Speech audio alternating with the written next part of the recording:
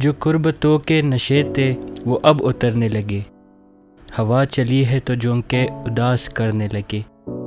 गई रुतों का ताल्लुक भी जान लेवा था।